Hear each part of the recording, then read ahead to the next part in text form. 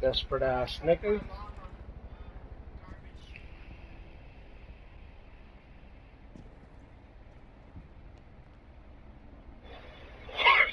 There's three of them, so you already know.